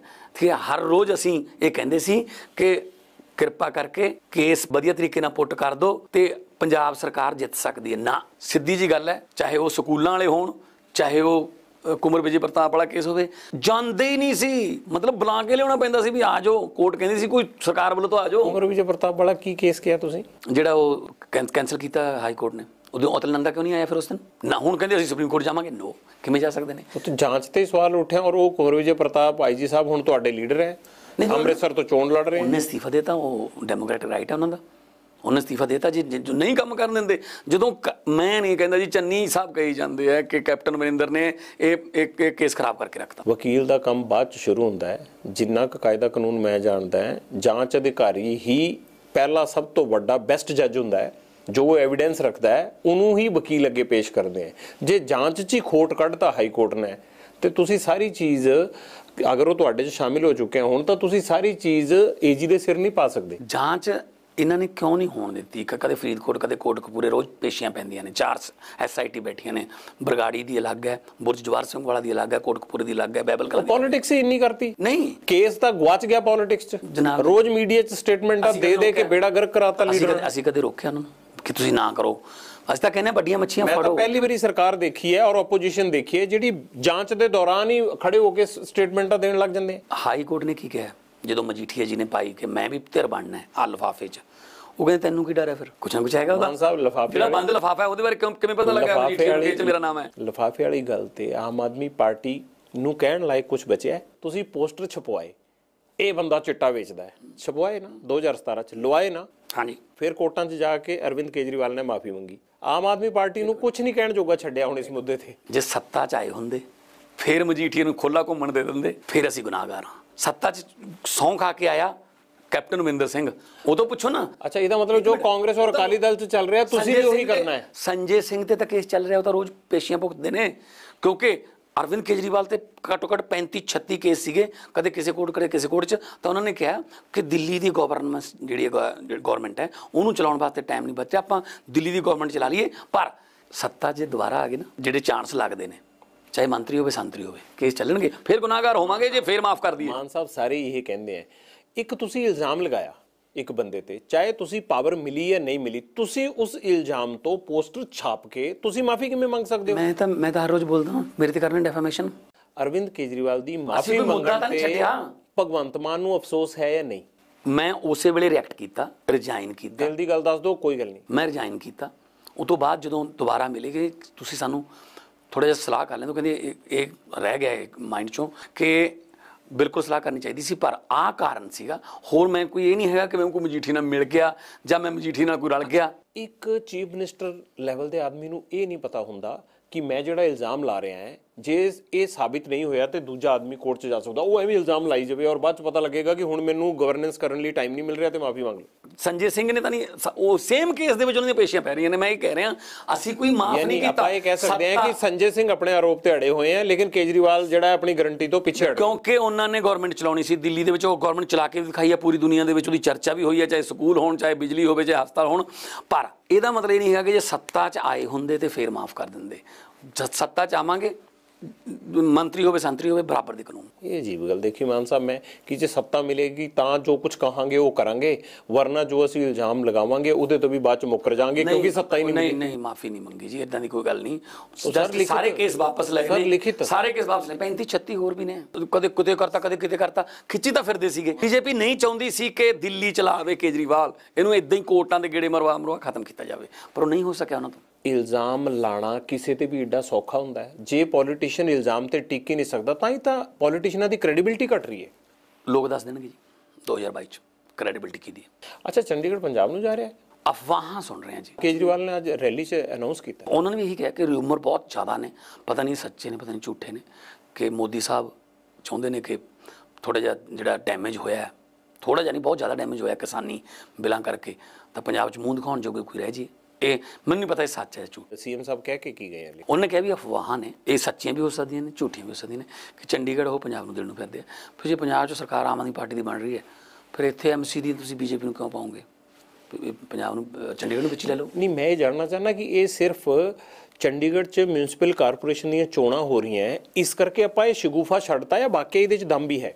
ਜਾਂ ਬਾਅਦ 'ਚ ਆਪਾਂ ਕਹਿ ਦਾਂਗੇ ਕਿ ਅਫਵਾਹ ਸੀ? ਬਹੁਤ ਜ਼ਿਆਦਾ ਵੱਡੀ ਗਿਣਤੀ 'ਚ ਅਫਵਾਹਾਂ ਨੇ ਕਿ ਸ਼ਾਇਦ ਐਸੇ ਮਹੀਨੇ ਦੇ ਅਖੀਰ ਦੇ ਵਿੱਚ ਮੋਦੀ ਸਾਹਿਬ ਆਉਣਗੇ ਤੇ ਉਹ ਕੁਝ ਕਰਜ਼ਾ ਮਾਫੀ ਜਾਂ ਕੋਈ ਜਿਵੇਂ ਕਿ ਉਹਨਾਂ ਦੇ ਜੁਮਲੇ ਹੁੰਦੇ ਨੇ ਉਹ ਕਰਕੇ ਜਾਣਗੇ। ਇਹ ਜੁਮਲਾ ਥੋੜਾ ਹੋਏਗਾ। ਚੰਡੀਗੜ੍ਹ ਹੀ ਪੰਜਾਬ ਨੂੰ ਦੇਤਾ ਜਿਹੜਾ ਕਿ ਤੁਸੀਂ ਦੇਖੋ ਮਿਲੀਟੈਂਸੀ ਦੇ ਟਾਈਮ ਦਾ 1966 ਤੋਂ ਜਿਹੜਾ ਰੌਲਾ ਚੱਲੀ ਜਾ ਰਿਹਾ ਹੈ। ਚੰਡੀਗੜ੍ਹ ਕਹਿੰਦੇ ਆ ਕਿ ਹਰਿਆਣੇ ਵਾਲੇ ਸਾਡਾ ਹੱਕ ਹੈ ਪੰਜਾਬ ਵਾਲੇ ਕਹਿੰਦੇ ਆ ਸਾਡਾ ਹੱਕ ਹੈ। ਤੇ ਇਹ ਜੁਮਲਾ ਨਹੀਂ ਹੋਇਆ ਇਹ ਤਾਂ ਬਹੁਤ ਵੱਡਾ ਫੈਸਲਾ ਹੋਏਗਾ। 370 ਤੋਂ ਬਾਅਦ ਇਹ ਬਹੁਤ ਵੱਡਾ ਫੈਸਲਾ ਹੋਏਗਾ। ਤੁਸੀਂ ਜੋ ਸਟੇਜ ਤੇ ਬੋਲਤਾ ਜਦੋਂ ਉਹਨਾਂ ਨੇ ਚੰਡੀਗੜ੍ਹ ਪੰਜਾਬ ਕੋ ਦੇ ਦੂੰਗਾ पहले तो ये कहेंगे चंडीगढ़ पंजाब को दूं या ना दूं दो चलो दे दिया डेढ़ लाख करोड़ का कर्जा माफ कर दूं या ना करूं कर दो चलो कर दिए सर यकीन कर लोगे मोदी ਤੇ ਕੋਈ ਕਿਸਾਨਾਂ ਵਾਲੇ ਬਿਲਾਂ ਵੇਲੇ ਨਹੀਂ ਆ ਕੇ ਸਵੇਰੇ ਸਵੇਰੇ ਕਹਤਾ ਗਲਤੀ ਹੋ ਗਈ ਮੈਥੋਂ ਕਾਨੂੰਨ ਵਾਪਸ ਕਿਸਾਨ ਕੀ ਕਹਿੰਦੇ ਨਾ ਇੱਥੇ ਹੀ ਬੈਠੇ ਆ ਲੋਕ ਸਭਾ ਤੇ ਰਾਜ ਸਭਾ ਚ ਪਾਸ ਕਰਾ ਕੇ ਰਾਸ਼ਟਰਪਤੀ ਦੇ ਸਾਈਨ ਕਰਾ ਕੇ ਸਾਨੂੰ ਕਾਪੀ ਭੇਜ ਤਾਂ ਮੰਨਾਂਗੇ ਵਕਤ ਵਕਤ ਦੀ ਗੱਲ ਹੁੰਦੀ ਹੈ ਜਗਵਿੰਦਰ ਜੀ ਇੱਕ ਵਕਤ ਸੀਗਾ 2014 15 16 ਦਾ ਜਦੋਂ ਨਰਿੰਦਰ ਮੋਦੀ ਦੇ ਭਾਸ਼ਣ ਨੂੰ ਲੋਕ ਫੈਸਲਾ ਮੰਨ ਮੰਨ ਲੈਂਦੇ ਸੀ। ਹੁਣ ਉਹਦੇ ਫੈਸਲੇ ਨੂੰ ਲੋਕ ਭਾਸ਼ਣ ਵੀ ਨਹੀਂ ਮੰਨਦੇ। 15 ਲੱਖ ਵਾਲਾ ਜੁਮਲਾ ਨਿਕਲ ਗਿਆ ਕਾਲੇ ਧਨ ਵਾਲਾ ਜੁਮਲਾ ਨਿਕਲ ਗਿਆ ਬੇਰੁਜ਼ਗਾਰੀ ਅ, ਰੋਜ਼ਗਾਰ ਦੇਣ ਦਾ 2-2 ਕਰੋੜ 2 ਕਰੋੜ ਰੋ- ਜੁਮਲਾ ਨਿਕਲ ਗਿਆ ਸਭ ਕੁਝ ਜੁਮਲੇ ਨਿਕਲ ਗਏ। ਬਿਹਾਰ ਵਾਲਾ ਪੂਰਾ ਹੋ ਗਿਆ। ਉੱਥੇ ਕਿ 70000 ਕਰੋੜ ਦੂੰ ਜਾਂ ਜ਼ਿਆਦਾ ਕਰ ਦੂੰ? ਜ਼ਿਆਦਾ ਕਰ ਦੂੰ। 80000 ਕਰ ਦੂੰ ਕਿ ਜ਼ਿਆਦਾ ਕਰ ਦੂੰ? 90 ਕਰ ਦੂੰ 1 ਲੱਖ? ਕਰ ਦੇਤੇ। ਬਿਹਾਰ ਤੇ ਸਰਕਾਰ ਹੈਗੀ ਇਹਨਾਂ ਦੀ? ਦੇਤਾ ਉਹਨਾਂ ਨੂੰ ਬਿਹਾ- ਬਿਹਾਰ ਨੂੰ ਪੈਕੇਜ ਸੋ ਕੀ ਯਕੀਨ ਕਰੋਗੇ ਤੁਸੀਂ ਉਹਨਾਂ ਤੇ ਸਰਕਾਰ ਤਾਂ ਫਿਰ ਵੀ ਬਣਾਈ ਗਈ ਲੋਕ ਯਕੀਨ ਕਰਦੇ ਹੋਣਗੇ ਤਾਂ ਹੀ ਦੇਤੀ ਨਾ ਵੋਟ ਜੇਡੀਯੂ ਦੇ ਨਾਲ ਮਿਲ ਕੇ ਸਰਕਾਰ ਤਾਂ ਉਹਨਾਂ ਦੀ ਹੈ ਉਧਰਲੇ ਪਾਸੇ ਨਫ਼ਰਤ ਦੀ ਰਾਜਨੀਤੀ ਕ- ਕਰਦੇ ਆ। ਪੰਜਾਬ 'ਚ ਇਦਾਂ ਦੇ ਭਾਈਚਾਰਾ ਸਾਡੀ ਸੋਸ਼ਲ ਬੌਂਡਿੰਗ ਬਹੁਤ ਕਾਇਮ ਹੈ ਸਾਡੇ ਨਹੀਂ ਇਦਾਂ ਹੋਣਾ हाँ मैं पार्लियामेंट 'ਚ बोलिया सी काले धन के बारे में सोचता हूँ तो कलम रुक जाती है मोदी जी पंद्रह लाख की रकम लिखने से पहले पहले स्याही सूख जाती है हर बात ही जुमला निकली अब तो ये भी शक है क्या चाय बनानी आती है ਮੈਨੂੰ ਲੱਗਦਾ ਨਹੀਂ ਆਉਂਦੀ ਹੋਣੀ ਕਿਉਂਕਿ ਜਿਸ ਵੇਲੇ ਚਾਹ ਕਹਿੰਦੇ ਨੇ ਮੈਂ ਬਣਾਉਂਦਾ ਨੇ ਉਦੋਂ ਸਟੇਸ਼ਨ ਆਇਆ ਨਹੀਂ ਸੀ ਉਹ। ਪਤਾ ਕਰਾ ਲਿਓ। ਭਗਵੰਤ ਮਾਨ ਨੂੰ ਆਮ ਆਦਮੀ ਪਾਰਟੀ ਸੀਐਮ ਦਾ ਕੈਂਡੀਡੇਟ ਕਿਉਂ ਨਹੀਂ ਬਣਾ ਰਹੀ? ਸਿੱਧਾ ਪ੍ਰਾਈਮ ਮਿਨਿਸਟਰ ਤੇ ਅਟੈਕ ਕਰ ਰਿਹਾ ਬੰਦਾ ਔਰ ਆਮ ਆਦਮੀ ਪਾਰਟੀ ਨੂੰ ਦਿਖ ਨਹੀਂ ਰਿਹਾ ਕਿ ਸਾਡਾ ਇੰਨਾ ਵੱਡਾ ਲੀਡਰ ਇੰਨੀ ਮੁੱਦਤ ਤੋਂ ਸਾਡੇ ਆਲੇ ਦੁਆਲੇ ਖੜਾ ਹੈ। ਉਹ ਕਿਉਂ ਨਹੀਂ ਤੁਹਾਨੂੰ ਸੀਐਮ ਦਾ ਕੈਂਡੀਡੇਟ ਐਲਾਨਦੇ? ਆਮ ਆਦਮੀ ਪਾਰਟੀ ਦੇ ਵਫਾਦਾਰ ਸਿਪਾਹੀਆਂ ਵਰਕਰਾਂ ਵਲੰਟੀਅਰਾਂ ਨਾਲ ਮਿਲ ਕੇ ਆਮ ਆਦਮੀ ਪਾਰਟੀ ਪੰਜਾਬ ਦੇ ਵਿੱਚ ਖੜੀ ਕੀਤੀ ਹੈ। ਖੂਨ ਨਾਲ, ਪਸੀਨੇ ਨਾਲ ਸਿੰਜੀ ਹੈ। ਜਿੱਥੇ ਵੀ ਡਿਊਟੀ ਲੱਗੂਗੀ, ਕਦੇ ਮਨਾ ਨਹੀਂ ਕੀਤਾ। ਪਿਛਲੀ ਵਾਰ ਜਲਾਲਾਬਾਦ ਡਿਊਟੀ ਲੱਗੀ ਸੀ ਇਹ ਨਿਭਾਈ ਸੀ। ਤੇ 300 ਰੈਲੀਆਂ ਕਰਨ ਦੀ ਡਿਊਟੀ ਲੱਗੀ ਸੀ, ਨਿਭਾਈ ਸੀ। ਬੜੀ ਜਲਦੀ ਆਮ ਆਦਮੀ ਪਾਰਟੀ ਸੀਐਮ ਦਾ ਫੇਸ ਵੀ ਦੇਊਗੀ। ਔਰ ਪਹਿਲੀ ਪਾਰਟੀ ਹੋਊਗੀ ਆਮ ਆਦਮੀ ਪਾਰਟੀ, ਪਹਿਲੀ ਤੇ ਇਕਲੌਤੀ ਪਾਰਟੀ ਹੋਊਗੀ, ਜਿਹੜੀ ਪੰਜਾਬ ਦੇ ਵਿੱਚ ਸੀਐਮ ਦੇ ਫੇਸ ਨਾਲ ਲੜੂਗੀ। ਨਾ ਬੀਜੇਪੀ ਨੇ ਫੇਸ ਦੇਣਾ, ਨਾ ਕਾਂਗਰਸ ਨੇ ਫੇਸ ਦੇਣਾ। ਇਹ ਇਹ ਮੇਰੀ ਗਰੰਟੀ ਅਕਾਲੀ ਦਲ ਤਾਂ ਦਊਗਾ ਹੀ। ਉਹ ਤਾਂ ਪ੍ਰਾਈਵੇਟ ਲਿਮਿਟਡ ਕੰਪਨੀ ਹੈ ਉਹ ਪਾਰਟੀ ਥੋੜੀ ਹੈ। ਵੱਡੇ ਬਾਲ ਸਾਹਿਬ ਲੜੇ ਤਾਂ ਸੁਖਬੀਰ ਵੀ ਫਿਰ ਇਕਲੌਤੀ ਪੰਜਾਬ 'ਚ ਪਾਰਟੀ ਹੋਏਗੀ ਜਿਹੜੀ ਸੀਐਮ ਦੇ ਫੇਸ ਨਾਲ ਲੜੂਗੀ। ਉਹ ਫੇਸ ਦਾ ਨਾਂ ਕੀ ਹੋਏਗਾ? ਫੇਸ ਬਹੁਤ ਸੋਹਣਾ ਹੋਊਗਾ। ਉਸ ਫੇਸ ਤੇ ਲੋਕ ਮਾਣ ਕਰਨਗੇ। ਪੰਜਾਬ ਤੋਂ ਹੋਊਗਾ। ਮਾਣ ਕਰਨਗੇ ਤੇ ਅੱਗੇ ਭਗਵੰਤ ਹੋਊਗਾ। ਇਹ ਤਾਂ ਪੀਐਸਸੀ ਨੇ ਡਿਸਾਈਡ ਕਰਨਾ ਹੈ। ਸਾਡੀ ਪੋਲੀਟੀਕਲ ਅਫੇਅਰ ਕਮੇਟੀ ਹੈ। ਠੀਕ ਹੈ ਨਾ? ਜੇ ਮੇਰੇ ਤੇ ਨਾ ਯਕੀਨ ਕਰਨਗੇ ਮੈਨੂੰ ਅੱਗੇ ਕਰਨਾ ਚਾਹਣਗੇ। ਮੈਨੂੰ ਇਹ ਤੋਂ ਵੱਧ ਹੋਰ ਖੁਸ਼ੀ ਕੀ ਹੋਊਗੀ? ਮੈਂ ਸੰਗਰੂਰ ਦਾ ਦੋ ਵਾਰ ਐਮਪੀ ਬਣ ਕੇ ਸਿਰਫ ਸੰਗਰੂਰ ਦੇ ਹਲਕੇ ਦੇ ਲੋਕਾਂ ਦਾ ਜਿੰਨਾ ਵੀ ਮੇਰੇ ਕੋਲੇ ਸੋਰਸਸ ਨੇ ਬਹੁਤ ਘੱਟ ਨੇ ਲਿਮਟਿਡ ਨੇ ਮੈਂ ਉੱਥੇ ਡਿਵੈਲਪਮੈਂਟ ਕਰ ਸਕਦੀ ਹਾਂ। ਤਾਂ ਜੇ ਪੋਲੀਟੀਕਲ ਪਾਵਰ ਵੱਧਦੀ ਹੈ ਤਾਂ ਅਸੀਂ ਸਾਰੇ ਪੰਜਾਬ ਨੂੰ ਅਸੀਂ ਕਰਾਂਗੇ ਠੀਕ? ਤੁਹਾਨੂੰ ਪਹਿਲਾਂ ਆਮ ਆਦਮੀ ਪਾਰਟੀ ਦੀ ਹਾਈ ਕਮਾਂਡ ਨੇ ਡਿਪਟੀ ਸੀਐਮ ਦੀ ਆਫਰ ਕੀਤੀ ਸੀ ਪੋਸਟ ਵੀ ਤੁਹਾਨੂੰ ਡਿਪਟੀ ਸੀਐਮ ਲਾਵਾਂਗੇ। ਇਹਦੇ ਲਈ ਕਦੇ ਕੋਈ ਗੱਲ ਨਹੀਂ ਹੋਈ ਕਿ ਡਿਪਟੀ ਸੀਐਮ ਜਾਂ ਕੋਈ ਹੋਰ। ਮੈਂ ਪੰਜਾਬ ਦਾ ਪ੍ਰਧਾਨ ਹਾਂ ਲੋਕ ਸਭਾ ਚ ਇਕਲੌਤਾ ਮੈਂਬਰ ਹਾਂ। ਮੇਰੇ ਮੇਰੇ ਤਾਂ ਮੈਂ ਆਪਣੀ ਡਿਊਟੀਆਂ ਨਿਭਾਉਣਾ ਮੈਨੂੰ ਕਦੇ ਕੋਈ ਡਿਪਟੀ ਸੀਐਮ ਵਗੈਰਾ ਦਾ ਆਫਰ ਤੁਸੀਂ ਕਦੀ ਗੱਲ ਨਹੀਂ ਕੀਤੀ ਕਿ ਤੁਹਾਡੇ ਕੋਲ ਇੰਨਾ ਵੱਡਾ ਚਿਹਰਾ ਹੈ ਜਿਹਨੂੰ ਲੋਕ ਜਾਣਦੇ ਆ ਇਕਲੌਤਾ ਸਾਂਸਦ ਹੈ ਤੁਸੀਂ ਉਹਨੂੰ ਸੀਐਮ ਦਾ ਚਿਹਰਾ ਕਿਉਂ ਨਹੀਂ ਬਣਾਉਂਦੇ ਹਲੇ ਤੱਕ? ਉਹ ਵੇਟ ਕਾਦੀ ਕਰ ਰਹੇ? ਪਤਾ ਕਿ ਮੈਂ ਰੁੱਸਣ ਵਾਲਾ ਚ ਨਹੀਂ ਹੈਗਾ। ਨਹੀਂ ਤੁਸੀਂ ਰੁੱਸੇ ਹੋਏ ਸੀ ਥੋੜੀ ਦੇਰ ਪਹਿਲਾਂ? ਨਹੀਂ ਨਹੀਂ ਰੁੱਸ। ਉਹ ਮੀਡੀਆ ਨੇ ਬਣਾਇਆ ਸੀ ਤੁਹਾਡੇ ਐਮਐਲਏ ਕਹਿੰਦੇ ਰਹੇ ਵੀ ਤੁਸੀਂ ਐਲਾਨੋ ਉਹ ਇੱਕੋ ਲੜਕੀ ਜਿਹੜੀ ਸੀਗੀ ਐਮਐਲਏ ਉਹ ਛੱਡ ਕੇ ਵੀ ਚਲੀ ਗਈ? ਉਹ ਅਸਲ ਚ ਉਹਨਾਂ ਨੂੰ ਟਿਕਟਾਂ ਨਹੀਂ ਮਿਲ ਰਹੀਆਂ ਸੀ। ਮਾਨ ਸਾਹਿਬ ਐ ਨਾ ਕਰੋ ਤੁਹਾਡੇ ਚੱਕਰ ਚ ਉਹਨੇ ਇੱਕ ਦਿਨ ਅੱਜ ਸਟੇਟਮੈਂਟ ਦਿੱਤੀ ਕੱਲ ਛੱਡੀ ਤੁਸੀਂ ਕਹਿ ਰਹੇ ਉਹਨੂੰ ਟਿਕਟ ਨਹੀਂ ਮਿਲ ਰਿਹਾ ਸੀ। ਨਹੀਂ ਨਹੀਂ ਉਹਨੂੰ ਅੱਜ ਵੀ ਨਹੀਂ ਬਠਿੰਡਾ ਦੇ ਹੱਥੀ ਤੋਂ ਅਨਾਉਂਸ ਕਰਤੀ ਨਾ ਹਰਵਿੰਦਰ ਲਾਡੀ ਸਿੱਧੂ ਸਾਹਿਬ ਅੱਜ ਕੱਲ ਮੋਢੇ ਤੇ ਹੱਥ ਧਰ ਕੇ ਟਿਕਟਾਂ ਦੇ ਰਹੇ ਨੇ। ਤਾਂ ਬਠਿੰਡਾ ਦੇ ਹੱਥੀ ਤੋਂ ਐਮਐਲਏ ਸੀ। ਇਹਦਾ ਮਤਲਬ ਇਹ ਹੈ ਕਿ ਜਿਹੜੀ ਤੁਹਾਡੀ ਪੈਰਵੀਕਾਰ ਸੀ ਉਹ ਬਠਿੰਡੇ ਤੋਂ ਹਾਰ ਰਹੀ ਸੀ। ਸਾਡੇ ਕੁਝ ਐਮਐਲਏ ਦੇ ਸਰਵੇ ਹੋਏ ਨੇ। ਉਹਦੇ ਚੋਂ ਨਹੀਂ ਉਹਨਾਂ ਪ੍ਰੋਪਰ ਉਹਨਾਂ ਤੋਂ ਵਰਕ ਹੋਇਆ ਤਾਂ ਉਹ ਫਿਰ ਬਹਾਨਾ ਤਾਂ ਕੋਈ ਲਾਉਣਾ ਹੀ ਹੁੰਦਾ ਨਾ। ਪਰ ਮੈਂ ਕੋਈ ਰੁੱਸਣ ਵਾਲਾ ਚ ਨਹੀਂ ਹੈਗਾ। ਮੈਂ ਇਹ ਨਹੀਂ ਹੈਗਾ ਕਿ ਮੈਂ ਉੱਠ ਕੇ ਮੀਟਿੰਗ ਜੋ ਚਲਾ ਗਿਆ ਜੀ ਫਿਰ ਬਾਅਦ ਚ ਹਾਈ ਕਮਾਂਡ ਤੋਂ ਫੋਨ ਆਇਆ ਫਿਰ ਵਾਪਸ ਆਇਆ ਫਿਰ ਫਿਰ ਲੜ ਪਿਆ ਫਿਰ ਫਿਰ ਚਲਾ ਗਿਆ। ਮੈਂ ਕਲੇਸ਼ੀ ਨਹੀਂ ਹੈਗਾ। ਤੁਸੀਂ ਕੇਜਰੀਵਾਲ ਸਾਹਿਬ ਦੀ ਮੀਟਿੰਗ ਜਾਂ ਦੌਰੇ ਤੋਂ ਇਲਾਵਾ ਕਿਤੇ ਆਣਾ ਹੀ ਛੱਡ ਗਏ ਸੀ ਤੁਸੀਂ? ਦੇਖੋ ਉਹ ਐਕਟੀਵਿਟੀ ਦੇਖੋ ਕਿਸਾਨ ਅੰਦੋਲਨ ਚੱਲ ਰਿਹਾ ਸੀ। ਅਸੀਂ ਕੋਈ ਉਹਨਾਂ ਨੇ ਕਿਹਾ ਹੋਇਆ ਸੀ ਜਿੰਨਾ ਚਿਰ ਸਾਡਾ ਮਸਲਾ ਨਹੀਂ ਹੱਲ ਹੁੰਦਾ ਪਿੰਡਾਂ ਦੇ ਵਿੱਚ ਪੋਲੀਟੀਕਲ ਰੈਲੀਆਂ ਨਾ ਕੀਤੀਆਂ ਜਾਣ। ਮੈਂ ਅਸੀਂ ਇਹ ਤੇ ਸਪੈਸ਼ਲ ਤੇ ਫੁੱਲ ਚੜਾਏ। ਕਰੋਨਾ ਕਰਕੇ ਸਾਡੀਆਂ ਐਕਟੀਵਿਟੀਆਂ ਘਟੀਆਂ। ਪਰ ਜਦੋਂ ਹੀ ਹੁਣ ਉਹ ਤਿੰਨੋਂ ਬਿੱਲ ਵਾਪਸ ਹੋਏ ਨੇ ਹਰ ਰੋਜ਼ ਮੇਰੀਆਂ ਤਿੰਨ ਰੈਲੀਆਂ ਨੇ। ਮੈਂ ਇਸੇ ਨੂੰ ਗੁੱਡ ਨਿਊਜ਼ ਮੰਨਦੇ ਹੋਏ ਤੁਹਾਨੂੰ ਸਵਾਲ ਪੁੱਛ ਰਿਹਾ। ਮੈਂ ਤੁਹਾਡੀ ਐਕਟੀਵਿਟੀ ਦੇਖ ਕੇ ਹੀ ਇਹ ਸਵਾਲ ਕੀਤਾ ਹੈ ਕਿ ਜੋ ਐਕਟੀਵਿਟੀ 2 ਮਹੀਨੇ ਪਹਿਲੇ ਨਹੀਂ ਸੀ ਉਹ ਜੇ ਹੁਣ ਮਾਨ ਸਾਹਿਬ ਨੇ ਸਪੀਡ ਚ ਪਾਤੀ ਹੈ ਤਾਂ ਇਹਦਾ ਮਤਲਬ ਕਿ ਪੰਜਾਬ ਦਾ ਮਾਨ ਭਗਵੰਤ ਬਣਨ ਵਾਲਾ ਹੈ। ਤੁਸੀਂ ਕਰ ਸਕਦੇ ਹੋ ਕਿੱਥੇ ਕਰਨਾ ਇਦਾਂ ਦੇ? ਅੰਦਾਜ਼ੇ ਲਾ ਸਕਦੇ ਹੋ ਤੁਹਾਡੇ ਕੋਲ ਸੂਤਰ ਹੁੰਦੇ ਨੇ ਅੱਜ ਅੰਦਾਜ਼ਾ ਨਹੀਂ ਅੱਜ ਤਾਂ ਸਾਖਸ਼ਾਤ ਬੰਦਾ ਸਾਹਮਣੇ ਬੈਠਾ ਹੈ। ਮੈਂ ਤਾਂ ਪਹਿਲਾਂ ਵੀ ਹੀ ਆ ਮੈਂ ਤਾਂ ਹੀ ਰਹਿਣਾ ਮੈਂ 17.5 ਸਾਲ ਦੀ ਉਮਰ ਦੇ ਵਿੱਚ ਭਗਵੰਤ ਮਾਨ ਬਣ ਗਿਆ ਸੀ। ਇਦੋਂ ਵੱਡਾ ਤਾਂ ਮੈਂ ਕੁਝ ਬਣ ਹੀ ਨਹੀਂ ਸਕਦਾ ਜੀ ਠੀਕ ਹੈ ਨਾ? ਹਾਂ ਇੱਕੋ ਹੀ ਹੈ ਦਿਲ ਦੇ ਵਿੱਚ ਇੱਕੋ ਹੀ ਤਮੰਨਾ ਹੈ ਕਿ ਪੰਜਾਬ ਨੂੰ ਦੁਬਾਰਾ ਪੰਜਾਬ ਦੇਖਣਾ ਚਾਹੁੰਦੇ ਆ ਪੰਜਾਬ ਉਦਾਸ ਹੋ ਗਿਆ ਪੰਜਾਬ ਦੀਆਂ ਅੱਖਾਂ 'ਚ ਪਾਣੀ ਪਹਿਲਾਂ ਕਦੇ ਨਹੀਂ ਦੇਖਿਆ ਗਿਆ ਸੀ। ਇਹੀ ਆਮ ਆਦਮੀ ਪਾਰਟੀ ਕਹਿੰਦੀ ਹੈ ਇਹੀ ਨਵਜੋਤ ਸਿੰਘ ਸਿੱਧੂ ਕਹਿੰਦਾ ਹੈ ਇਹੀ ਚਰਨਜੀਤ ਚੰਨੀ ਕਹਿੰਦਾ ਹੈ। ਇਹ ਸਾਰੇ ਲੋਕ ਇਹ ਕਹਿੰਦੇ ਕਿ ਪੰਜਾਬ ਨੂੰ ਪੰਜਾਬ ਦੇਖਣਾ ਚਾਹੁੰਦੇ ਲੇਕਿਨ ਇਹ ਨਹੀਂ ਕਹਿੰਦੇ ਕਿ ਹਾਂ, ਮੈਂ ਚੀਫ ਮਿਨਿਸਟਰ ਬਣ ਕੇ ਪੰਜਾਬ ਨੂੰ ਪੰਜਾਬ ਬਣਾਉਣਾ ਚਾਹੁੰਦਾ। ਤੁਸੀਂ ਕਿਉਂ ਨਹੀਂ ਐਡਮਿਟ ਕਰਦੇ ਕਿ ਯੈਸ ਮੈਂ ਚੀਫ ਮਿਨਿਸਟਰ ਬਣਨਾ ਚਾਹੁੰਦਾ? ਵਕਤ ਦਿਓ, ਵਕਤ ਨਾਲ, ਸਮਾਂ ਸਮਾਂ, ਸਮਰੱਥ। ਵਕਤ ਬਹੁਤ ਵੱਡੀ ਚੀਜ਼ ਹੁੰਦਾ ਹੈ। ਪਟਿਆਲਾ ਸਾਹਿਬ। ਘਰਾਂ ਦੇ ਵਿੱਚ, ਲੋਕਾਂ ਦੇ ਜੇਬਾਂ ਦੇ ਵਿੱਚ ਅੱਜ ਵੀ ਕਾਰਡ ਪਏ ਨੇ। ਕੈਪਟਨ ਅਮਰਿੰਦਰ ਦੀ ਫੋਟੋ ਲੱਗੀ ਹੋਈ ਹੈ, ਉਹ ਤੇ ਲਿਖਿਆ ਹੋਇਆ ਕੈਪਟਨ ਨੇ ਸਹੁੰ ਚੱਕੀ, ਤੁਹਾਡੀ ਨੌਕਰੀ ਪੱਕੀ। ਤੇ ਲੋਕਾਂ ਨੂੰ ਰੋਜ਼ਗਾਰ ਦੇਣ ਵਾਲਾ ਵਕਤ ਨੇ ਅੱਜ ਆਪ ਬੇਰੁਜ਼ਗਾਰ ਕਰ ਰੱਖਿਆ ਠੀਕ ਹੈ ਨਾ? ਸੋ ਇਹ ਵਕਤ ਹੈ। ਹਾਂ ਬੀਜੇਪੀ ਨਾਲ ਅਲਾਈਅੰਸ ਹੋ ਗਿਆ ਉਹਨਾਂ ਦਾ ਔਰ ਅਗਰ ਤੁਹਾਡੀ ਗੱਲ ਠੀਕ ਹੈ ਕਿ ਚੰਡੀਗੜ੍ਹ ਪੰਜਾਬ ਨੂੰ ਜਾ ਰਿਹਾ ਹੈ ਜਾਂ ਤੁਹਾਡੀ ਅਫਵਾਹ ਠੀਕ ਹੈ ਤੁਹਾਡੀ ਮਤਲਬ ਆਮ ਆਦਮੀ ਪਾਰਟੀ ਦੀ ਤੇ ਫਿਰ ਤੇ ਕੈਪਟਨ ਸਾਹਿਬ ਦੀਆਂ ਪੰਜੋ ਕੀ ਹੈ? ਇਹ ਤਾਂ ਬਹੁਤ ਵੱਡਾ ਫੈਸਲਾ ਹੋਏਗਾ ਜੇ ਕਿਸਾਨਾਂ ਦੇ ਕਰਜ਼ੇ ਮਾਫ ਹੁੰਦੇ ਆ, ਚੰਡੀਗੜ੍ਹ ਪੰਜਾਬ ਨੂੰ ਦੇ ਦਿੱਤਾ ਜਾਂਦਾ ਹੈ। ਮੈਨੂੰ ਲੱਗਦਾ ਹੈ ਕਿ ਬੀਜੇਪੀ ਥੰਪਿੰਗ ਮੈਜੋਰਟੀ ਨਾਲ ਵੋਟਰ 'ਚ ਕੰਮ ਕਰੇਗੀ ਫਿਰ ਤਾਂ। ਤੁਸੀਂ ਬੰਗਾਲ ਚ ਹਾਲ ਨਹੀਂ ਦੇਖਿਆ? ਵੱਡੇ ਵੱਡੇ ਟੀਐਮਸੀ ਦੇ ਬੰਦੇ ਪਟਲੇ ਦੀਦੀ, ਉਹ ਦੀਦੀ, ਮਜ਼ਾਕ ਬਣਾ ਕੇ। ਠੀਕ ਹੈ ਨਾ? ਤੇ 220 ਕਦੇ ਸੋਚੀਆਂ ਸੀ ਕਿ ਟੀਐਮਸੀ ਚੱਲ ਜਾਣਗੀਆਂ? ਸਭ ਬੰਦੇ ਖਤਮ। ਸੋ ਇਹ ਵਕਤ ਹੈ ਜੀ, ਮੈਂ ਫੇਰ ਕਹਿਣਾ, ਜਦੋਂ ਵਕਤ ਆਇਆ, ਤੁਹਾਨੂੰ ਨਾਮ ਵੀ ਦੇਵਾਂਗੇ। ਚਿਹਰਾ ਵੀ ਦੇਵਾਂਗੇ ਤੇ ਨਾਲ ਫਿਰ ਉਸ ਚਿਹਰੇ ਨੂੰ ਟੀਵੀ ਦੇ ਉੱਤੇ ਚਲਾ ਦਿਓ। ਅਸੀਂ ਤਾਂ ਹੁਣ ਵੀ ਚਲਾਉਣ ਨੂੰ ਤਿਆਰ ਹਾਂ ਤੁਸੀਂ ਨਾਮ ਦਿਓ। ਨਹੀਂ ਬੇਵਕਤ ਹੈ ਜੀ।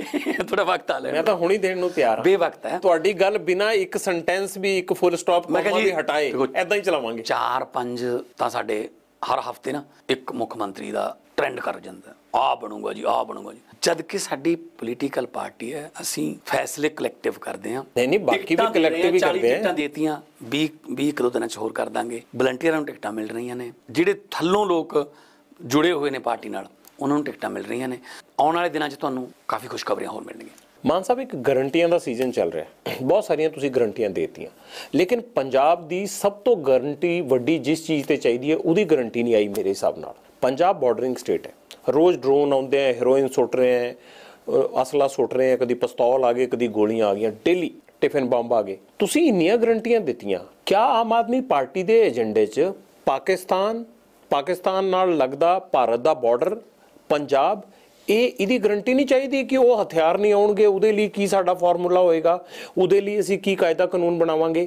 ਨੰਬਰ 2 ਕਿਆ ਪਾਕਿਸਤਾਨ ਨੂੰ ਠੱਲ ਪਾਉਣ ਲਈ ਕਿਸੇ ਗਰੰਟੀ ਦੀ ਲੋੜ ਨਹੀਂ ਹੈ ਪੰਜਾਬ ਔਰ ਪੰਜਾਬ ਦੇ ਸਿਆਸਤਦਾਨਾਂ ਨੂੰ? ਗਰੰਟੀਆਂ ਵੀ ਆਉਣਗੀਆਂ ਰਿਟਰਨ ਦੇ ਵਿੱਚ ਸਾਡਾ ਰੋਡ ਮੈਪ ਆਊਗਾ ਬਕਾਇਦਾ। ਅਸੀਂ ਤਾਂ ਇਸ ਗੱਲ ਦਾ ਵਿਰੋਧ ਕੀਤਾ ਸੀਗਾ ਹੁਣੇ। ਪੰਜਾਬ ਨੂੰ ਕਿੰਨੀ ਕੁ ਵਾਰ ਵੰਡੋਗੇ ਹੋਰ? ਬੀਐਸਐਫ ਨੂੰ ਦੇਤਾ 50 ਕਿਲੋਮੀਟਰ ਅੱਧਾ ਪੰਜਾਬ ਬੀਐਸਐਫ ਨੂੰ ਫੜਾਤਾ। ਤੇ ਉੱਥੇ ਦਾ ਮਤਲਬ ਪੰਜਾਬ ਪੁਲਿਸ ਨਹੀਂ ਜਾ ਸਕਦੀ ਬਿਨਾਂ ਕਿਸੇ ਨੂੰ ਵੀ ਅਰੈਸਟ ਕਰ ਸਕਦੇ ਨੇ ਕੀ ਕਰ ਸਕਦੇ? ਸੋ ਤੁਸੀਂ ਰਾਜਾਂ ਦੇ ਅਧਿਕਾਰ ਖੋ ਰਹੇ ਹੋ। ਸੋ ਫੈਡਰਲ ਸਟਰਕਚਰ ਨੂੰ ਮਜ਼ਬੂਤ ਕਰਨ ਵਾਸਤੇ ਸਾਡਾ ਬਕਾਇਦਾ ਤੌਰ ਤੇ ਰੋਡ ਮੈਪ ਆਊਗਾ। ਹਲੇ ਤੁਹਾਡੇ- ਰੂਪ ਦੇ ਵਿੱਚ ਜਾਰੀ ਕਰਾਂਗੇ। ਤੁਹਾਡੇ ਜਿੰਨੀਆਂ ਹੁਣ ਤੱਕ ਗਰੰਟੀਆਂ ਆਈਆਂ ਉਹਨਾਂ 'ਚ ਮੈਨੂੰ ਜਿਹੜੀ ਸਭ ਤੋਂ ਵੱਡੀ ਪ੍ਰੋਬਲਮ ਮੈਨੂੰ ਦਿਖਦੀ ਹੈ ਉਹ ਪ੍ਰੋਬਲਮ ਹਲੇ ਗਰੰਟੀਆਂ ਦਾ ਹਿੱਸਾ ਨਹੀਂ ਬਣੀ। ਆਉਣ ਵਾਲੇ ਦਿਨਾਂ ਚ ਇਹ ਸਾਡਾ ਪਾਰਟ ਹੈ ਸਾਡੇ ਮੈਨੀਫੈਸਟੋ ਦਾ। ਤੇ ਇਹ ਜ਼ਰੂਰ ਹੈ ਕਿਉਂਕਿ ਦੇਖੋ ਪੰਜਾਬ ਜਿਹੜਾ ਬਾਰਡਰ ਸਟੇਟ ਹੈ ਬਹੁਤ ਕੋਸ਼ਿਸ਼ਾਂ ਕੀਤੀਆਂ ਦੁਸ਼ਮਣਾਂ ਨੇ ਕਿ ਪੰਜਾਬ ਦੀ ਭਾਈਚਾਰਕ ਸਾਂਝ ਨੂੰ ਤੋੜ ਦਈਏ ਸੋਸ਼ਲ ਬੌਂਡਿੰਗ ਨੂੰ। ਨਹੀਂ ਟੁੱਟੀ। ਦਿੱਲੀ ਬੈਠੇ ਕਿਸਾਨ ਤੇ ਉਹਨਾਂ ਨੇ ਪੂਰਾ ਮੁਲਕ ਜਿਹੜਾ ਹੈ ਉਹ ਉਹਦੇ ਕਿਸਾਨ ਠਾ ਲਿਆਂਦੇ ਜਿੱਤ ਕੇ ਆਏ ਨੇ। ਪੰਜਾਬ ਹਮੇਸ਼ਾ ਹਰੇਕ ਇਨਕਲਾਬ ਨੂੰ ਨਵੀਂ ਚੀਜ਼ ਨੂੰ ਛੇਤੀ ਅਡਾਪਟ ਕਰਦਾ ਹੈ। ਅਸੀਂ ਪੰਜਾਬ ਦੀ ਭਾਈਚਾਰਕ ਸਾਂਝ ਬਣਾਉਣ ਲਈ ਬਕਾਇਦਾ ਤੌਰ ਤੇ ਰੋਡ ਮੈਪ ਲੈ ਕੇ। ਕਹਿੰਦੇ ਆ ਕਿ ਕਿਸਾਨ ਅੰਦੋਲਨ ਸਭ ਤੋਂ ਜ਼ਿਆਦਾ ਆਮ ਆਦਮੀ ਪਾਰਟੀ ਨੂੰ ਸੂਟ ਕਰਦਾ ਸੀ। ਪਰ ਜਿਸ ਤਰ੍ਹਾਂ ਇਹ ਖਤਮ ਹੋ ਗਿਆ ਗੁਰਪੁਰ ਵਾਲੇ ਦਿਨ ਤੇ ਆਮ ਆਦਮੀ ਪਾਰਟੀ ਨੂੰ ਲੱਗਦਾ ਹੈ ਕਿ ਜੇ ਇਲੈਕਸ਼ਨਾਂ ਤੱਕ ਚੱਲ ਜਾਂਦਾ ਤੇ ਜ਼ਿਆਦਾ ਵਧੀਆ ਸੀ? ਨਹੀਂ ਨਹੀਂ ਦੇਖੋ ਅਸੀਂ ਕਦੇ ਵੀ ਇਹ ਦੁਆ ਨਹੀਂ ਕੀਤੀ। ਇਸ ਤਾਂ ਪਹਿਲੇ ਦਿਨੋਂ ਮੈਂ ਤਾਂ 25 ਦਸੰਬਰ ਨੂੰ ਵਾਜਪਾਈ ਜੀ ਦੀ ਪੁੰਨ ਤਿਥੀ ਸੀ। ਪਾਰਲੀਮੈਂਟ ਦੇ ਵਿੱਚ ਮੋਦੀ ਜੀ ਦੇ ਮੂਹਰੇ ਮੈਂ ਤਖਤੀਆਂ ਲੈ ਗਏ ਸੀ ਮੈਂ ਤੇ ਸੰਜੇ ਸਿੰਘ। ਹਜੇ 1 ਮਹੀਨਾ ਹੋਇਆ ਸੀ ਇਹਨਾਂ ਨੂੰ ਗਿਆ ਨੂੰ। ਕਿ ਜੀ ਉੱਥੇ ਠੰਡ 'ਚ ਅੰਨਦਾਤਾ ਮਰ ਰਿਹਾ ਕਾਨੂੰਨ ਵਾਪਸ ਲੈ ਲਓ। ਇਹ ਕਾਨੂੰਨ ਨਹੀਂ ਹੈਗੇ ਮੌਤ ਦੇ ਵਾਰੰਟ ਨੇ। ਮੌਤ ਦੇ ਵਾਰੰਟ 'ਚ ਕਦੇ ਸੋਧਾਂ ਨਹੀਂ ਹੁੰਦੀਆਂ ਹੁੰਦੀਆਂ। ਮੌਤ ਦੇ ਵਾਰੰਟ ਸਿਰਫ ਵਾਪਸ ਹੁੰਦੇ ਨੇ। ਜਿੱਥੇ ਵੀ ਕਿਸਾਨਾਂ ਨੇ ਕੋਈ ਕਾਲ ਦਿੱਤੀ ਅਸੀਂ ਆਪਣੇ ਵਲੰਟੀਅਰਾਂ ਨੂੰ ਬਿਨਾਂ ਝੰਡੇ ਤੋਂ ਬਿਨਾਂ ਕਿਸੇ ਸਟicker ਤੋਂ ਟੋਪੀ ਤੋਂ ਅਬਬ ਦਾ ਪੋਲਿਟਿਕਸ ਲੈਵਲ ਅਸੀਂ ਉੱਥੇ ਭੇਜਿਆ ਕਿਉਂਕਿ ਕਿਸਾਨ ਪਹਿਲਾਂ ਮੈਂ ਵੀ ਮੈਂ ਮੈਂ ਖੁਦ ਕਿਸਾਨ ਹਾਂ। ਤਾਂ ਹੀ ਤੁਹਾਡਾ ਵਿਰੋਧ ਘੱਟ ਹੋਇਆ। ਯਾਨੀ ਆਮ ਆਦਮੀ ਪਾਰਟੀ ਦੇ ਲੀਡਰਾਂ ਦਾ ਵਿਰੋਧ ਘੱਟ ਹੋਇਆ ਕਿਉਂਕਿ ਤੁਹਾਡੇ ਵੋਲੰਟੀਅਰ ਉਹਨਾਂ ਦੇ ਵਿੱਚ ਪਾਰਟਿਸਿਪੇਟ ਕਰ ਰਹੇ ਨਹੀਂ ਅਸੀਂ ਉਹਨਾਂ ਦੇ ਜਿਹੜੇ ਫੈਸਲੇ ਸੀ ਨਾ ਤਾਂ ਉਹਨਾਂ ਦੇ ਪੈਰਲਲ ਅਸੀਂ ਕੋਈ ਰੈਲੀ ਰੱਖੀ, ਕਿ ਅੱਜ ਉਹਨਾਂ ਦੀ ਵੀ ਹੈ, ਸਾਡੀ ਵੀ ਹੈ। ਨਾ ਹੀ ਅਸੀਂ ਕੋਈ ਇਹਨਾਂ ਉਹਨਾਂ ਦੇ ਫੈਸਲੇ ਨੂੰ ਕੋਈ ਵਿਰੋਧ ਕੀਤਾ ਜਾਂ ਕੋਈ ਦਿੱਲੀ ਗਏ, ਸਾਡੇ ਹੱਕ ਜੋ ਸੀਗਾ, ਸਟੇਡੀਅਮ ਨਹੀਂ ਦਿੱਤੇ ਗਏ ਜੇਲ੍ਹ ਬਣਾਉਣ ਵਾਸਤੇ। ਦਿੱਲੀ ਦੇ ਵਿੱਚ ਜਿੰਨੇ ਵੀ ਸਾਡੇ ਵਲੰਟੀਅਰ ਸੀ ਜਾਂ ਐਮਐਲਏ ਸੀ, ਉਹ ਨਿਸ਼ਕਾਮ ਸੇਵਾ ਕਰ ਰਹੇ ਸੀ। ਅੱਜ ਤਾਂ ਮੈਂ ਮੈਂ ਫੇਰ ਕਹਿਣਾ ਕੋਈ ਵੀ ਪੋਲੀਟੀਕਲ ਪਾਰਟੀ ਇਸ ਗਲਤ ਫਹਿਮੀ 'ਚ ਨਾ ਰਵੇ, ਕਿ ਉਹਨੂੰ ਕਿਸੇ ਨੂੰ ਕ੍ਰੈਡਿਟ ਮਿਲ ਜੂਗਾ। ਇਹ ਸਿਰਫ ਤੇ ਸਿਰਫ ਅੰਦੋਲਨ ਦੀ ਜਿੱਤ ਹੋਈ ਹੈ, ਲੋਕਾਂ ਦੀ ਜਿੱਤ ਹੋਈ ਹੈ। ਔਰ ਪਹਿਲੀ ਵਾਰ ਹੋਇਆ ਕਿ ਧੌਣ ਚੋਂ ਸਰੀਆ ਜਿਹੜਾ ਨਿਕਲਿਆ ਇੱਕ ਹਾਕਮ ਦੇ ਜਿਹੜਾ ਆਪਣੇ ਆਪ ਨੂੰ ਤਾਨਾਸ਼ਾਹ ਕਹਿੰਦਾ ਸੀ। ਆਮ ਆਦਮੀ ਪਾਰਟੀ ਚਾਹੁੰਦੀ ਹੈ ਕਿ ਬਲਬੀਰ ਸਿੰਘ ਰਾਜੇਵਾਲ ਉਹਨਾਂ ਨਾਲ ਆ ਜਾਣ ਉਹਨਾਂ ਨਾਲ ਹੱਥ ਮਿਲਾਣ ਉਹਨਾਂ ਨੂੰ ਗਾਈਡ ਕਰਨ ਪੰਜਾਬ ਦੀ ਪੋਲਿਟਿਕਸ 'ਚ। ਅਸੀਂ ਤਾਂ ਪੌਣੇ 3 ਕਰੋੜ ਲੋਕਾਂ ਨੂੰ ਲੈ ਕੇ ਆਉਣ ਚ ਰਾਜੇਵਾਲ ਸਾਹਿਬ ਵੱਡੇ ਲੀਡਰ ਮੈਂ ਤਾਂ ਸਿਰਫ ਇੱਕ ਆਦਮੀ ਦੀ ਗੱਲ ਕਰ ਰਾਜੇਵਾਲ ਸਾਹਿਬ ਬਹੁਤ ਵੱਡੇ ਲੀਡਰ ਨੇ ਮੈਂਟਰ ਨੇ 40 ਸਾਲ ਹੋ ਗਏ ਸੰਘਰਸ਼ ਕਰਦਿਆਂ ਨੂੰ। ਬੜੀਆਂ ਉਹਨਾਂ ਨੇ ਉਤਰਾਅ ਚੜਾਅ ਹਨੇਰੀਆਂ ਦੇਖੀਆਂ ਨੇ। ਅਸੀਂ ਕੋਈ ਖੇਤੀ ਨਾਲ ਸੰਬੰਧਿਤ ਕਦੇ ਕੋਈ ਗੱਲ ਕਰਨੀ ਹੁੰਦੀ ਹੈ। ਤਾਂ ਅਸੀਂ ਸਲਾਹ ਲੈਂਦੇ ਆ ਦੱਸੋ ਜੀ ਪਾਰਲੀਮੈਂਟ 'ਚ ਆਹ ਸਵਾਲ ਲੱਗਿਆ ਹੋਇਆ ਇਹਦੇ ਬਾਰੇ ਕੀ ਕਰ ਸਕਦੇ ਹਾਂ? ਡਾਟਾ ਬਹੁਤ ਉਹਨਾਂ ਕੋਲ ਪਿਆ। ਤੇ ਅਸੀਂ ਰਿਸਪੈਕਟ ਕਰਦੇ ਹਾਂ ਸਾਡੇ ਬਜ਼ੁਰਗ ਨੇ ਉਹ। ਆਪਣੇ ਨਾਲ ਉਹਨਾਂ ਨੂੰ ਆਉਣ ਲਈ ਕਦੀ ਪ੍ਰਪੋਜ਼ਲ ਦਿੱਤੀ? ਨਹੀਂ ਇਦਾਂ ਦਾ ਨਹੀਂ ਕਦੇ ਗੱਲ ਹੋਈ। ਉਹਨਾਂ ਦਾ ਆਪਣਾ ਕਿਸਾਨ ਭਾਰਤੀ ਕਿਸਾਨ ਯੂਨੀਅਨ ਹੈਗੀ ਹੈ। ਤੇ ਬਹੁਤ ਸਭ ਤੋਂ ਵੱਧ ਪੁਰਾਣੀ ਤਾਂ ਉਹਨਾਂ ਦੀ ਭਾਰਤੀ ਕਿਸਾਨ ਯੂਨੀਅਨ ਦੇ ਬਿੱਲੇ ਜਿਹੜੇ ਇੱਥੇ ਲੱਗੇ ਹੁੰਦੇ ਸੀ। ਸਾਡੇ ਅਸੀਂ ਵੀ ਛੋਟੇ ਛੋਟੇ ਹੁੰਦੇ ਜਾਂਦੇ ਹੁੰਦੇ ਸੀਗੇ।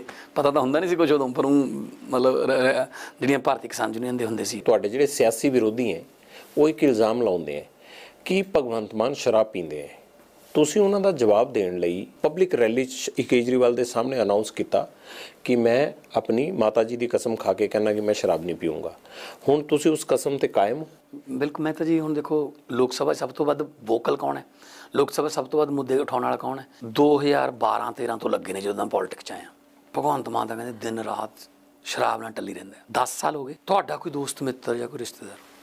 ਜਿਹੜਾ ਪਿਛਲੇ 10 ਸਾਲ ਤੋਂ ਦਿਨ ਰਾਤ ਟੱਲੀ ਰਹਿੰਦਾ ਉਹ ਜਿਉਂਦਾ ਹੈਗਾ ਮੇਰੇ ਕੋਈ ਲੋਹੇ ਦਾ ਲਿਵਰ ਤਾਂ ਨਹੀਂ ਲੱਗਿਆ। ਇਹ ਸਭ ਇਹਨਾਂ ਦੇ ਇਲਜ਼ਾਮ ਨੇ। ਹੋਰ ਮੇਰੇ ਤੇ ਕੁਝ ਕਹਿ ਹੀ ਨਹੀਂ ਸਕਦੇ ਉਹ। ਜਦੋਂ ਕੈਪਟਨ ਸਾਹਿਬ ਅਰੂਸਾ ਨਾਲ ਬੈਠ ਕੇ ਚੀਅਰਸ ਕਰਦੇ ਨੇ ਉਹ ਤਾਂ ਕਹਿੰਦੇ ਰਾਜਾ ਆਮ ਘਰਾਂ ਤੋਂ ਆ ਇਲਜ਼ਾਮ ਲਾਈ ਜਾਂਦੇ ਆ।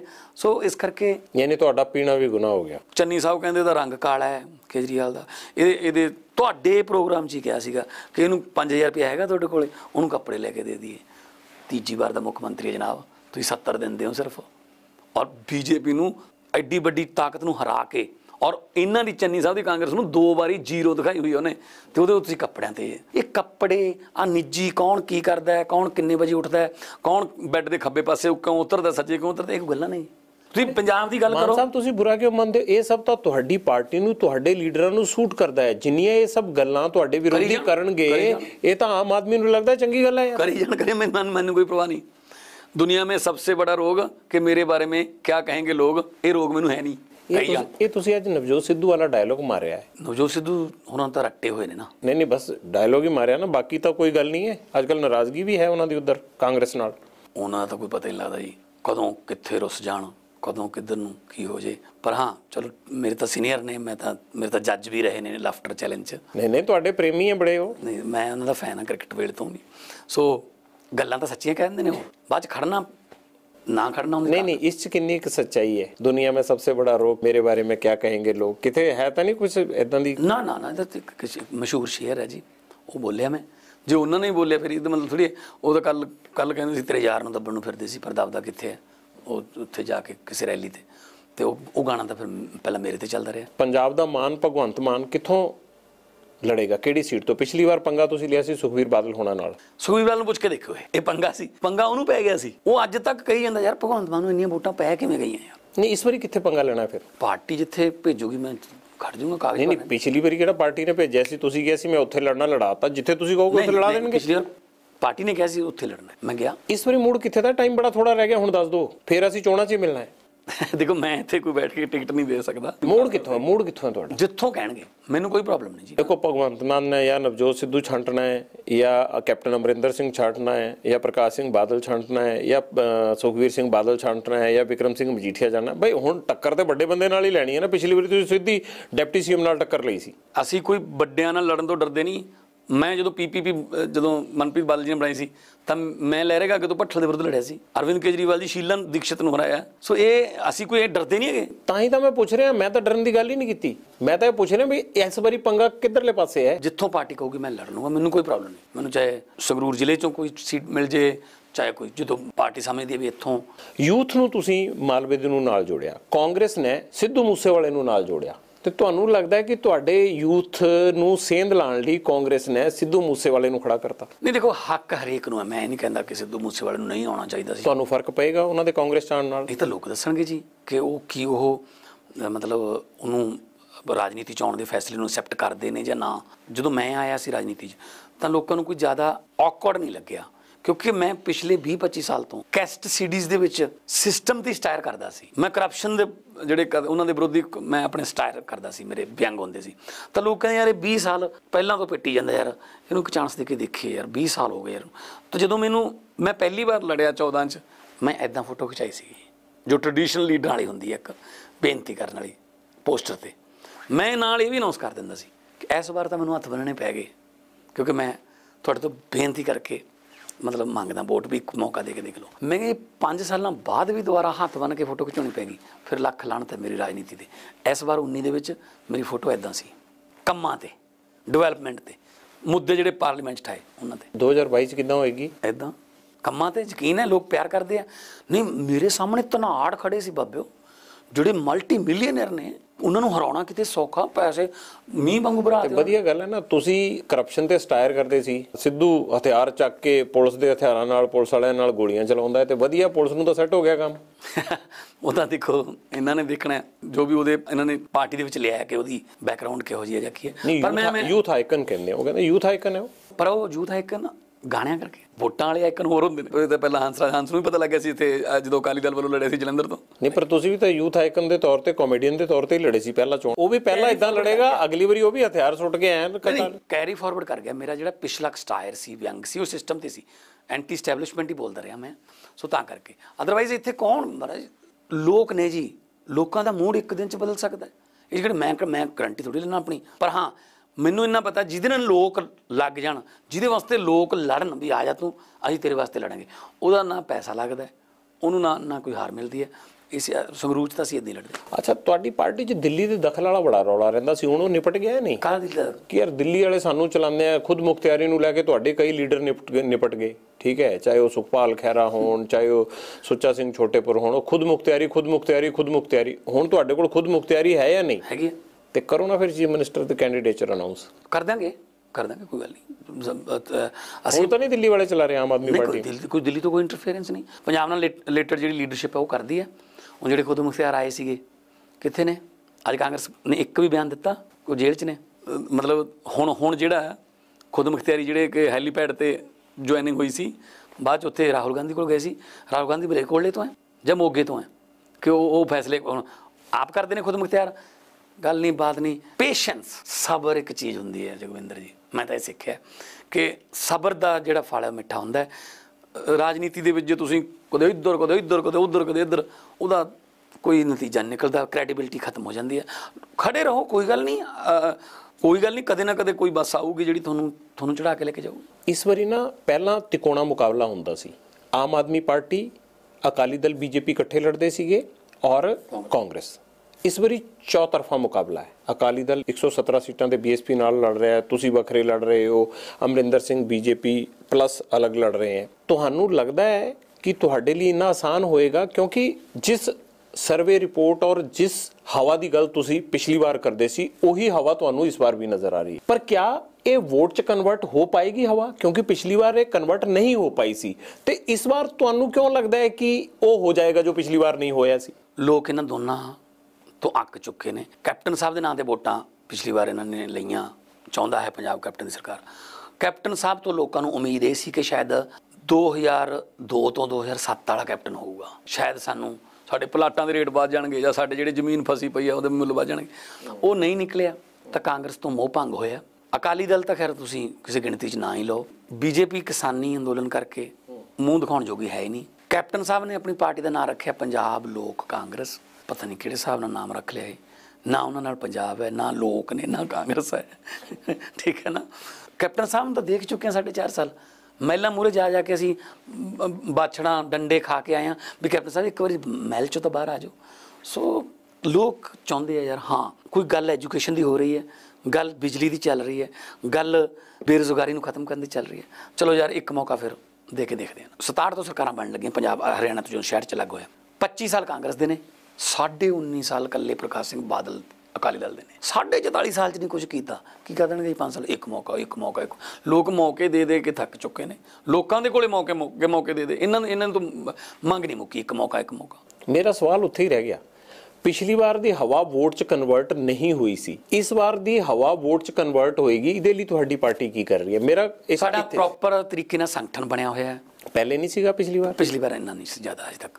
ਠੀਕ ਹੈ ਨਾ? ਬਹੁਤ ਵਧੀਆ ਤਰੀਕੇ ਨਾਲ ਅਸੀਂ ਮੈਨੇਜ ਕਰ ਰਹੇ ਹਾਂ ਕਿ ਕਿਵੇਂ ਲੋਕਾਂ ਦੇ ਵਿੱਚ ਪ੍ਰਚਾਰ ਕਰਨਾ ਹੈ ਕਿਵੇਂ ਜਾਣਾ ਹੈ। ਕੋਈ ਅਸੀਂ ਝੂਠਾ ਵਾਦਾ ਨਹੀਂ ਕਰਦੇ। ਪਿਛਲੀ ਵਾਰ ਅਸੀਂ ਬਹੁਤ ਪਹਿਲਾਂ ਵੱਡੀਆਂ ਵੱਡੀਆਂ ਰੈਲੀਆਂ ਕਰ ਲਈਆਂ। ਮੈਂ ਸੱਚ ਦੱਸਾਂ ਤੁਹਾਨੂੰ? ਕੈਂਡੀਡੇਟ ਵੀ ਬਹੁਤ ਪਹਿਲਾਂ ਅਨਾਉਂਸ ਕਰਤੇ ਸੀ। ਜਦੋਂ ਤੱਕ ਅਸੀਂ ਇਲੈਕਸ਼ਨ ਦੇ ਨੇੜੇ ਤੱਕ ਗਏ ਸਾਡੇ ਵਲੰਟੀਅਰ ਥੱਕ ਗਏ। ਗਲਤੀਆਂ ਸਾਥੋਂ ਵੀ ਹੋਈਆਂ ਟਿਕਟਾਂ ਦੀ ਵੀ। ਮੈਂ ਮੰਨਦਾ ਇਹ ਗੱਲ। ਸਿਆਣੇ ਕਹਿੰਦੇ ਆ ਕਿ ਜਿਹਨੇ ਕੋਈ ਗਲਤੀ ਨਹੀਂ ਕੀਤੀ ਇਹਦਾ ਮਤਲਬ ਉਹਨੇ ਕੋਈ ਕੰਮ ਵੀ ਨਹੀਂ ਕੀਤਾ। ਸੋ ਗਲਤੀਆਂ ਕੰਮ ਦੌਰਾਨ ਹੋ ਜਾਂਦੀਆਂ ਨੇ। ਪਿਛਲੀਆਂ ਗਲਤੀਆਂ ਤੋਂ ਸਿੱਖਿਆ ਪਰ ਇੰਨਾ ਮੈਂ ਤੁਹਾਨੂੰ ਕਹਿ ਦਿੰਦਾ ਨੈਕਸਟ ਜਿਹੜੀ ਆਪਣੀ ਮੁੱਕ ਦੀ ਗੱਲ ਹੋਊਗੀ, ਉੱਥੇ ਗੱਲ ਮੁੱਕ ਚੁੱਕੀ ਹੋਊਗੀ ਉਦੋਂ ਪੰਜਾਬ ਦੀ ਗੱਲ। ਤੁਹਾਨੂੰ ਮਤਲਬ ਕੋਈ ਵੱਡੀ ਖੁਸ਼ਖਬਰੀ ਦੇ ਨਾਲ ਹੀ ਤੁਹਾਡੇ ਕੋਲ ਇਸ ਸਟੂਡੀਓ ਚ ਆਵਾਂਗੇ। ਮੈਨੂੰ ਵੀ ਇੰਤਜ਼ਾਰ ਰਹੇਗਾ ਮਾਨ ਸਾਹਿਬ। ਬਹੁਤ ਬਹੁਤ ਸ਼ੁਕਰੀਆ ਤੁਸੀਂ ਟਾਈਮ ਕੱਢਿਆ। ਮਾਨ ਸਾਹਿਬ ਨੇ ਬੜੀ ਬੇਵਾਕੀ ਨਾਲ ਸਾਰੀਆਂ ਗੱਲਾਂ ਕਰਤੀਆਂ, ਪਰ ਅਸੀਂ ਮਾਨ ਸਾਹਿਬ ਤੇ ਬਾਕੀ ਪਾਰਟੀਆਂ ਲਈ ਵੀ ਇੱਕ ਗੁਜ਼ਾਰਿਸ਼ ਕਰਦੇ ਹਾਂ ਕਿ ਪੰਜਾਬ ਦੇ ਦੋ ਮਸਲੇ ਬੜੇ ਵੱਡੇ ਹੈ। ਹਰ ਪਾਰਟੀ ਇਹਨਾਂ ਦੋਹਾਂ ਮਸਲਿਆਂ ਤੇ ਸਭ ਤੋਂ ਜ਼ਿਆਦਾ ਗੌਰ ਕਰੇ, ਲੋਕਾਂ ਦੇ ਨਾਲ ਨਾਲ ਜਿਹੜਾ ਸਾਡਾ ਬਾਰਡਰ ਹੈ, ਜਿਹੜਾ ਸਾਡੇ ਬਾਰਡਰ ਦੇ ਰਾਹੀਂ ਪੰਜਾਬ ਨੂੰ ਨੁਕਸਾਨ ਪਹੁੰਚਾਉਣ ਦੀਆਂ ਦੁਸ਼ਮਣ ਮੁਲਕ ਕੋਸ਼ਿਸ਼ਾਂ ਕਰਦੇ ਹੈ ਉਹਦੇ ਲਈ ਸਭ ਤੋਂ ਵੱਡੀ ਗਰੰਟੀ ਆਵੇ। ਔਰ ਦੂਜਾ, ਗੁਰੂ ਘਰਾਂ 'ਚ ਜੋ ਪਾਪ ਹੋ ਰਹੇ ਹੈ ਇਹਦੇ ਲਈ ਐਸਾ ਕਾਇਦਾ ਕਾਨੂੰਨ ਔਰ ਇੱਕ ਐਸੀ ਗਰੰਟੀ ਆਵੇ ਕਿ ਇਹ ਪਾਪ ਕਰਨ ਵਾਲਾ ਸੁਪਨੇ 'ਚ ਵੀ ਇਹ ਹਿੰਮਤ ਨਾ ਕਰ ਪਾਵੇ। ਸ਼ਾਇਦ ਫਿਰ ਅਸੀਂ ਪੰਜਾਬ ਦੇ ਸਿਆਸਤਦਾਨਾਂ ਦਾ ਦਿਲੋਂ ਔਰ ਕੈਮਰੇ ਤੇ ਵੀ ਸ਼ੁਕਰ ਅਦਾ ਕਰਾਂਗੇ। ਸ਼ੁਕਰੀਆ ਕਰਾਂਗੇ। ਤੁਸੀਂ ਇਸ ਇੰਟਰਵਿਊ ਤੇ ਫੀਡਬੈਕ ਦੇਣਾ, ਮੈਨੂੰ ਮੇਰੇ ਟਵਿੱਟਰ ਹੈਂਡਲ ਤੇ ਨਾ ਭੁੱਲਣਾ। ਬਹੁਤ ਬਹੁਤ ਸ਼ੁਕਰੀਆ ਮਾਨ ਸਾਹਿਬ। ਮਿਹਰਬਾਨੀ ਜਗਿੰਦਰ ਭਾਈ